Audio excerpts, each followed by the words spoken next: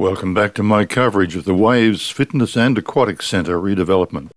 This is episode 24, recorded on Sunday, the 18th of September 2022.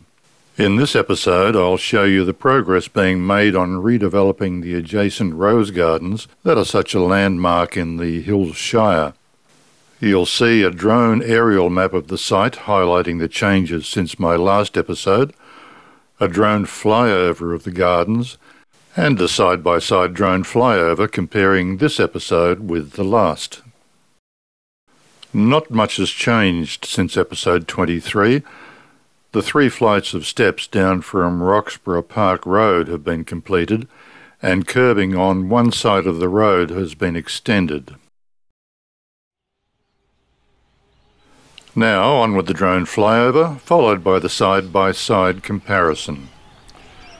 I'll be uploading new episodes every two weeks or so until the Rose Garden renovation is complete, so subscribe to my channel if you'd like to receive notifications when I upload new videos.